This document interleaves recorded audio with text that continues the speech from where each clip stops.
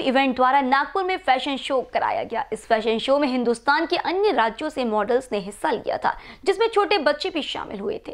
Kings and queens का orange city fashion test में नागपुर शहर के पत्रकारों को भी सम्मानित किया गया। जिन्होंने इवेंट में अपना सहयोग दिया, प्रसिक बंसोर क्षितिज दुर्योधन, अनिल धोटी प्रोग्राम के director Labba Lingraj programme organiser Kiran Thakur और actor Vicky Patle film producer Rajeev Khan उपस्थित रहे। दिल्ली से miss first runner up Kanishka Bisti Varanasi से miss second runner up Ayushi Madanwal ने जानकारी दी।